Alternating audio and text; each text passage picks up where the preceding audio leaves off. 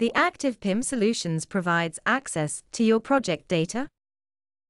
Here we have Sodexo's Grangegorman East Quad project, which allows the information model to be viewed using different techniques according to your requirements. Floor plans offer one method for viewing the spatial model, and by hovering over or selecting specific spaces, data regarding these can be shown in the sidebar. The asset team can move through the various floors to view the spaces they require and to access the space information they need. Floors can be chosen by name to browse each plan. Hover or click to view or select the spaces you are interested in. The sidebar then shows the space information, including photographs or other documentation which exists, as well as area and other identified property data. Spaces can be also filtered by choosing an associated zone such as the circulation. As you step through each floor level only those spaces identified as part of the circulation zone will be highlighted.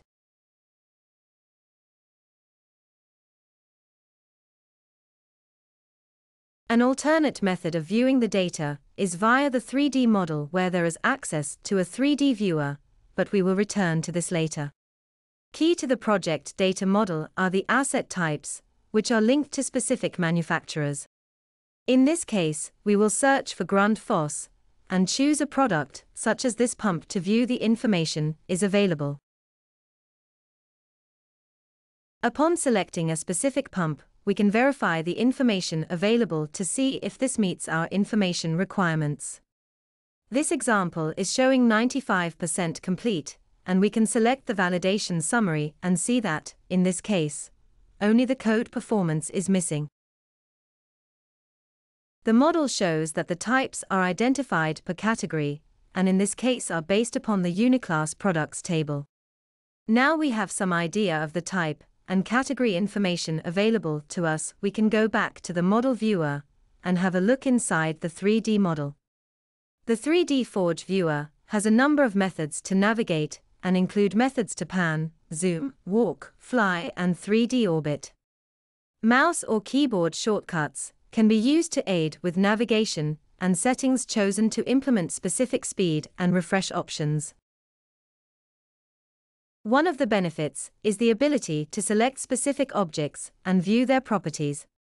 We will look at this in detail later on. As it is easy to lose your location, it is important to save pre-defined views. In this case the views names are called after the space's names. Select a pre-defined view, and then we can adjust the view to identify the specific assets we are interested in.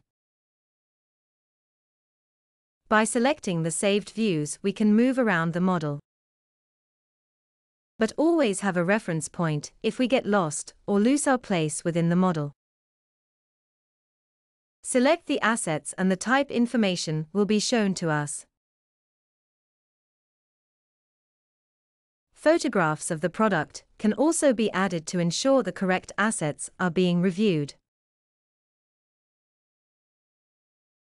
Having found an asset, we can then use the tabs in the Properties dialog box for finding information about the individual component, the asset type, or the space in which it resides. Using the Walk option, we can move through the model, viewing the objects we are interested in, prior to selecting them, to find the relevant information and location data.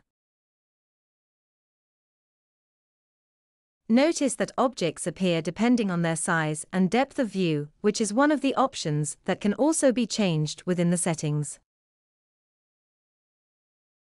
We can continue selecting assets we are interested in, viewing their properties, the asset type, as well as a product image.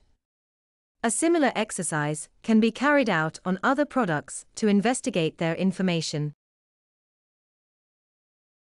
The keyboard shortcuts for walking around the model can be used to follow physical routes taken through the building, and further product data can be reviewed. Another method of interacting with spatial data is by accessing the 3D photographs associated with a specific space. There are multiple methods of getting to the space information either through the floor plans and spaces, 3D models and spaces, or as in this case, by searching through specific instances and finding its location. Where products have been tagged within a 3D photograph, a yellow tag will be highlighted, which allows the selecting of the tag to provide the associated data. This provides the links to the product data in the sidebar, and you can then browse the various product links to find the information required. This demonstrates the various methods Sodexo used to get to asset data using the ActivePlan PIM solution. Spatial methods include via floors, individual spaces, interacting with the 3D model, or via 3D photographs.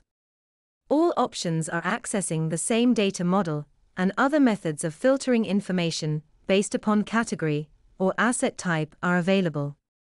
We hope you enjoyed this overview of Sodexo's ActivePlan PIM solution.